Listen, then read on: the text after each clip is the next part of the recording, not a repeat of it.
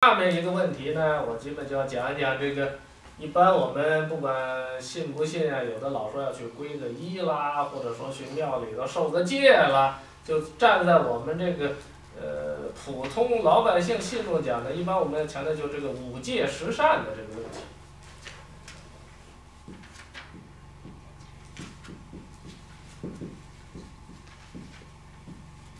这个问题啊，就是说。之所以写呢，就你把这个关键词记了，网上都会有很详细的概念。就我我包括这个小册子，我不会按照这个说。当然，我们讲这五戒，我们应该都知道，叫做这个杀盗淫呃呃不这个杀盗淫妄酒，一般这么说就是不杀生、不偷盗、不邪淫、不妄语、不饮酒，这就称之为这个五戒。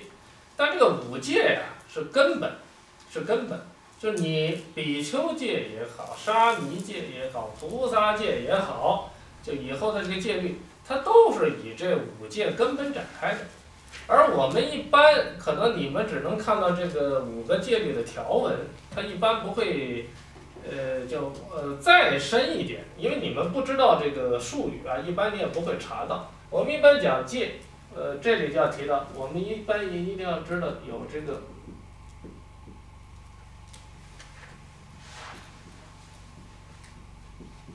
就是一定要知道遮戒和这个性戒的范畴。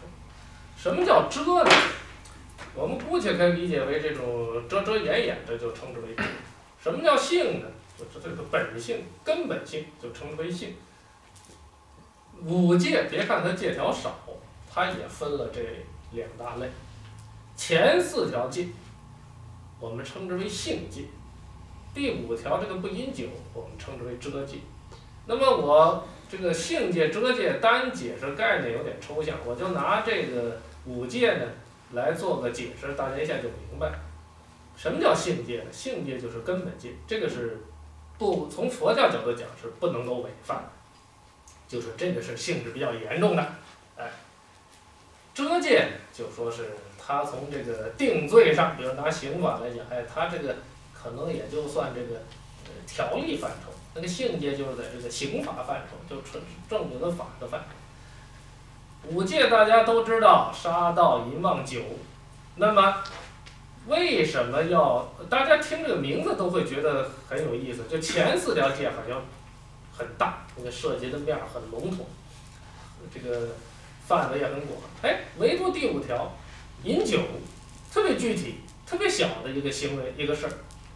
但是为什么把它跟那个前四条都并列在一起了呢？这个遮戒的一个作用，为什么我们我们还要守这个遮戒呢？虽然它好像不是什么原则性的这个戒呢，就是因为你触犯了遮戒，容易你引发去犯根本性的戒。就好比你酒驾，嗯，反正我酒驾，我自己晕晕乎乎开不挺好吗？但是不是说酒驾出现这个事故的概率，撞死人的概率要比你这个？清醒的时候要高，倒不是说你不喝酒就不撞人了，对吧？那么经常有这么一个故事，来讲这个遮戒跟这个性戒的这么一个关系。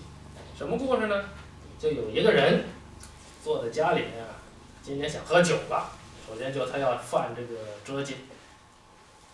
那好吧，他忽然一想，我这个喝酒总得有点这个下酒菜嘛，就不能空喝。正在发愁呢，我这没有这个这个下呃下酒菜。哎，隔壁邻居家呀有一只鸡，砰就飞到他这个院里来了。哎，他一看正好，他呢就把这鸡呀宰了，毛退了，收拾收拾做做成菜，然后他吃吃酒就就就这个鸡，哎吃完了。那隔壁家少了一只鸡呢，等回头呢，人家这个邻家这个大嫂这个收拾捡捡，哎发现少了一只。就找啊，找不着了，一般也会想着是不是呃跑了，飞到隔壁了，然后就敲他这个门，就就哎，他一开门就是说问他，哎说你看没看见我们家那只鸡呀？哎他说没没没看见，他他这个这个他给吃了吗？他肯定一般的不敢承认。哎，但那会儿呢，因为他刚喝完酒啊，他这个酒劲儿也上来，一看这个大嫂还有几分姿色，哎这起邪念，这就等于是呃把他给这个呃奸污了。好了，就这么一个很简短的故事。我们来想一想，就由于他要喝这个酒，就犯这个遮戒，就虽然严不严重的事儿，你看他犯了哪些戒呢？一，隔壁家的鸡，人家的鸡，他给占有了，这属于就算偷盗戒，然后把那只鸡杀了，这杀戒犯了。然后人家问你看见没看见？我说没看见，这是妄语戒就犯了。最后还把这个大嫂给侮辱了，这就邪淫戒就犯了。所以就等于是说你犯了这个遮戒，最后由这一条戒。引发了你这个犯其他的根本性戒，所以这个遮戒的在佛教里面的意义就在于这儿，它能够遮蔽住你的这种未来要犯更大错误的这种可能性，所以这个就是遮戒的一个意义就在这儿。那么回过头来再说这个性戒。我一强调这个信戒，大家有这个，如果说是信佛的受过戒，哎呀，说那这个得严格遵守啊，说不能触犯，因为你不是说这是原则性的戒了吗？不杀生，不偷盗，不邪淫，不妄语。这个所以佛教不能够僵硬的来学，或者说是教条的来学。我们回过头来，因为佛教叫戒律，也称之为律。我们世间有没有律啊？法律也称之为律，因为我们三藏到后面会讲三藏十二部经律论嘛，这个律就是讲的戒律，都叫律，律就是一种约束，就是称为律条、律法、戒律都是约束。那好了，佛教的这个，我们说不能犯，法律也不能犯。我拿法律来举个例子。法律肯定有这种这种条文呐，就禁止这种偷盗抢的这种条文吧，就这种有罪的嘛，金额数额巨大的话，他就触犯更深的这个刑律嘛。我就说，如果这个世界上没有小偷，就是没有任何的这种偷盗行为，他在法律上还会有这条偷盗罪的这么一条这个这个这个法律的约束的明文在吗？恐怕制定的时候他都不会制定。正因为你这个世间上有这种偷盗的现象，而且这种现象还很普遍，而且还不是一个时期内能够把它去掉，就它会在相当长的时间内存在，他才会制定这条这个法律来约束这个行为。我用这个来套这个戒律，什么意思呢？是说呀，虽然是性戒原则性的戒。他为什么会制定？你从一个侧面，就按我刚才举的例子，你要反思一下，就会说什么呢？就说明我们这个世间上啊，不停的充满着杀戮，不停的充满着偷盗，不断的出现这种说谎话，就是说说妄语。当然不光是说谎话，它内容还是很多的。我们姑且拿这个说谎话来说吧。然后这种邪淫，就这种不正当的男女关系。这无时无刻不存在，所以他才会制定这条戒来约束他。如果说这个世界上根本就没有这种现象，佛也不会制定这个戒。就算有这个戒，他就丧失了你持守的这个意义。那回过头来，我是要强调什么意思？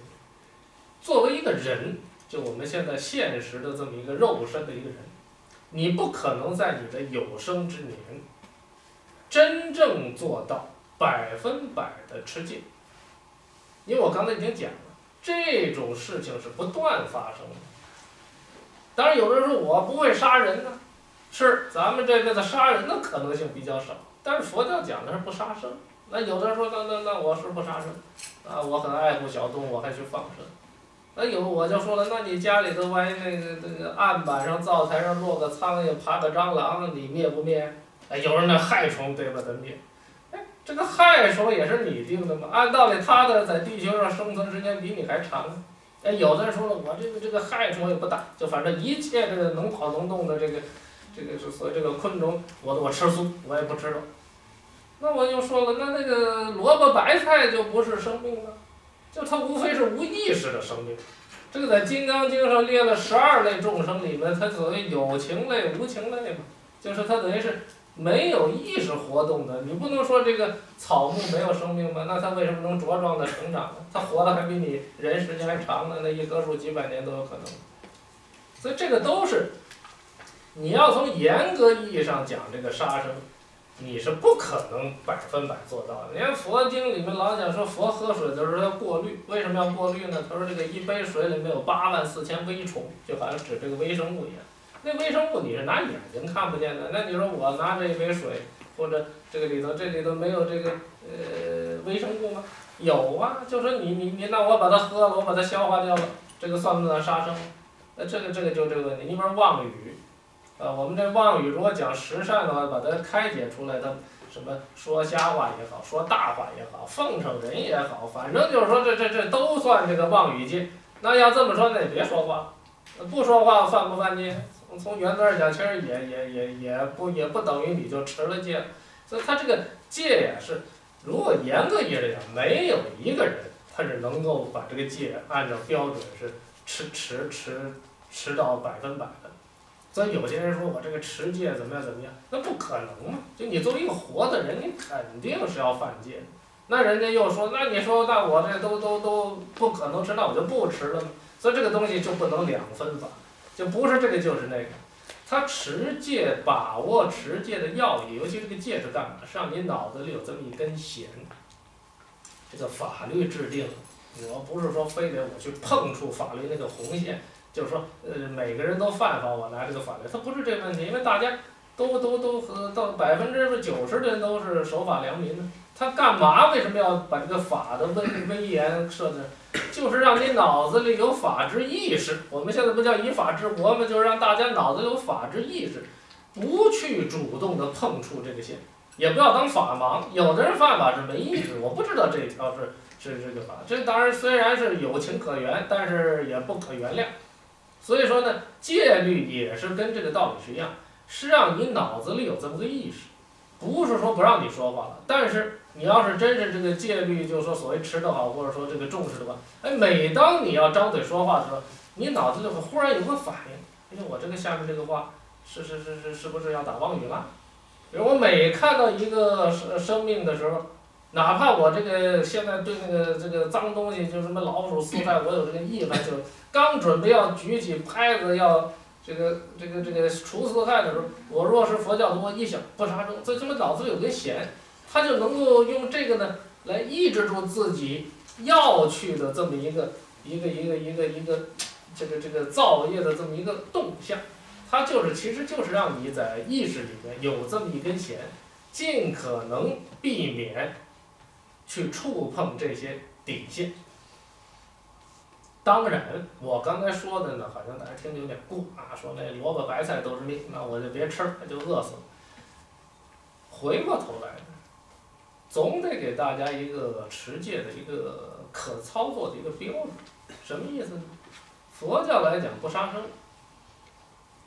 因为佛是一个以人为本的一个宗教，而且我刚才忘了一点，就是说这个，呃，回顾第一节课讲到释迦牟尼佛生平的时候，除了八相成道，就我是强调一个，就是说佛是人，千万不能把这个佛啊当做神来看，这个是我一再强调的。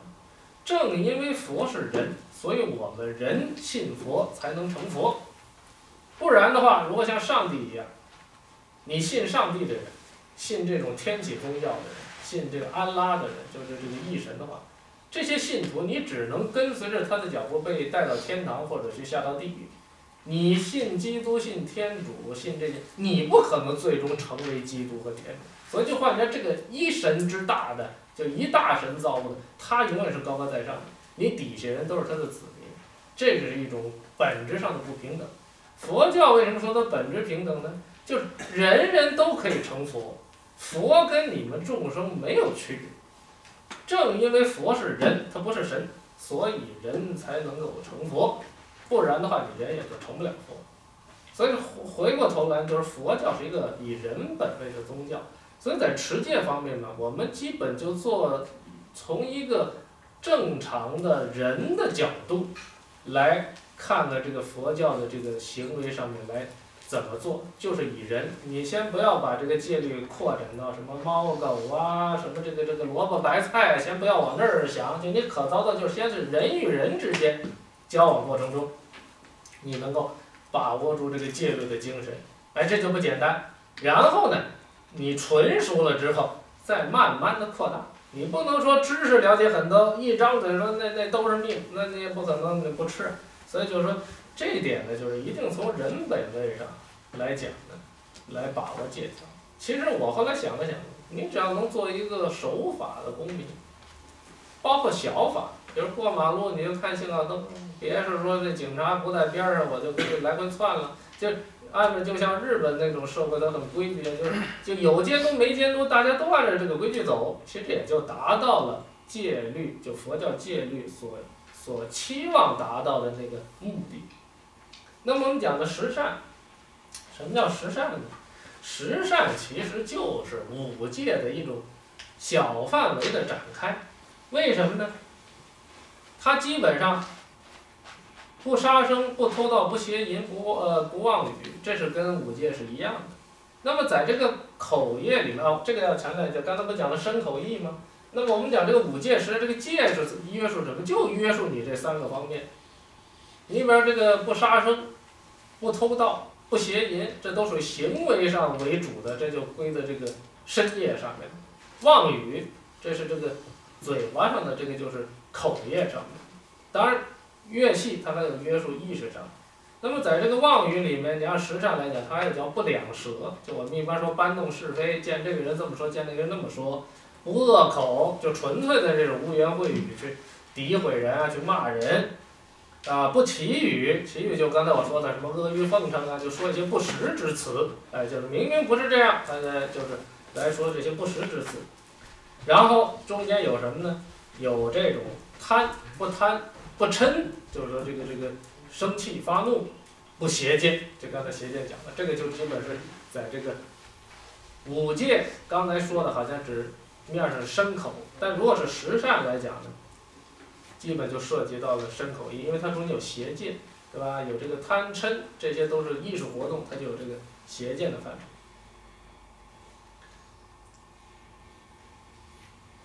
那么这个呢，就从这个戒法上讲，呃，我觉得就讲这些就够了。当然，比如说还有一些居士，比如去受什么菩萨戒、八关斋戒，这只是说条目上不一样，但从根本精神上，基本都是这样。哎，戒律一说，呃，大家如果说将来碰到一些搞佛教的，你这么一说，人家听你就不外行啊。一说戒，哎，遮戒、性戒，或者说性戒、遮戒，哎，人家哎，你你你这个就就就就不外行。所以就是说，呃，把这些关键词你们记住之后呢，细的东西不用说太记，就你们接触多了，自然脑子里就有了。